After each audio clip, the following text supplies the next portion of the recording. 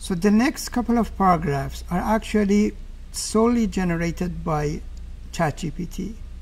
So I want to like more or less pretend that I can actually, you know, say it from myself and not really reading from a script.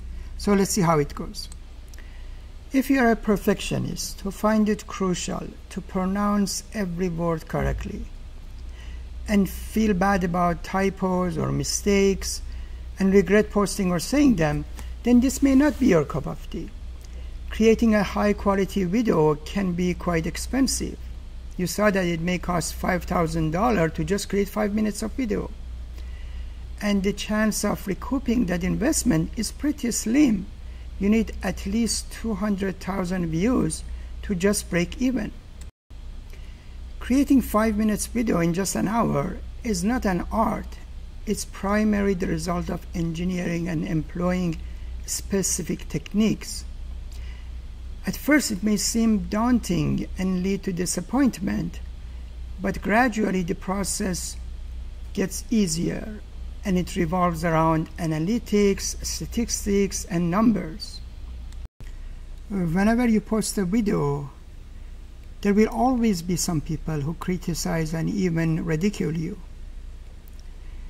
They make fun of your accent, your appearance, or your clothing choices. It's important to remember that these individuals represent a minority, and over time, they tend to give up and pay more attention to the content of what you say rather than how you look. It is essential to maintain a resilient mindset and not let such criticism discourage you. Focus on the value of your message and the knowledge you share, knowing that majority of your audience appreciate and benefits from it. Remember that personal attack or criticism on, super, on superficial aspect like your appearance or accent are often reflection of the insecurity or bias of individuals making those comments. Stay confident in your abilities, embrace your uniqueness, and continue delivering valuable content. Gradually, the positive impact of your message will outweigh any, any superficial criticism. So in fact, you will see that reading from a script is actually one of those techniques that uh, you should be able to, uh, you know, comfortably read from scripts. At first, it's, it's more artificial. People can see that you're reading it, but gradually it become more and more natural.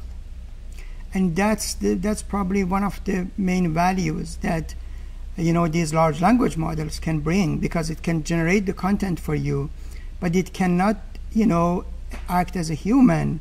And in a way you become a proxy of that.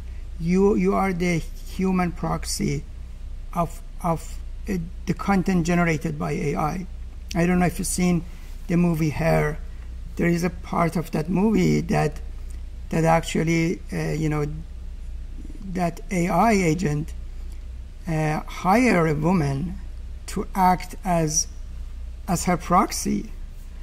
It's a very good movie. I actually recommend you to watch it. Now let's review uh, some techniques, specifically these four techniques to achieve these goals.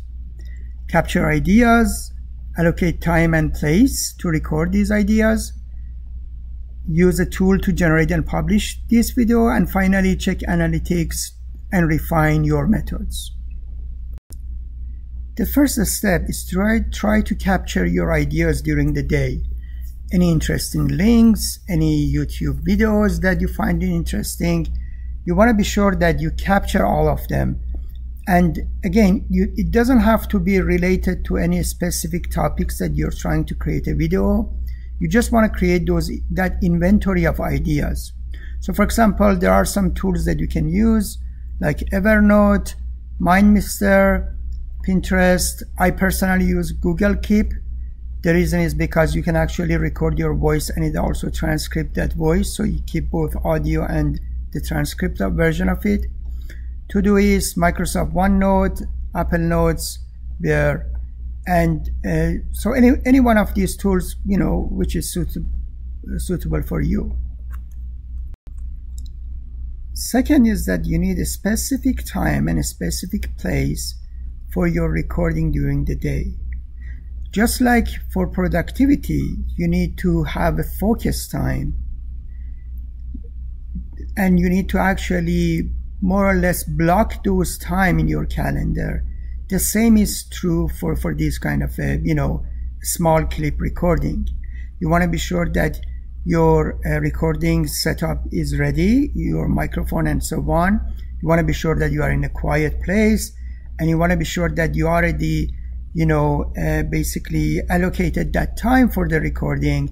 So you can, every day you can, you know, record these without much overhead. Finally, once you have an inventory of ideas and you are wondering which one of these ideas is good to create a video that's where AI come to rescue. So and and show you, you know, those ideas that you have more, uh, for example, content for it, material for it. Then you can pick one of these ideas, and then AI can actually create a mind map for you, create a tree structure, and automatically can pick from those content and generate a video for you.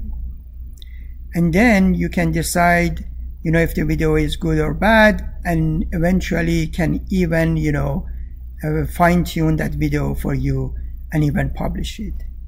And this this is a tool that we go through the different parts of it and even uh, you know try to more or less create it from open source modules Finally, you need to track your progress and you need to fine tune your methods to increase the quality.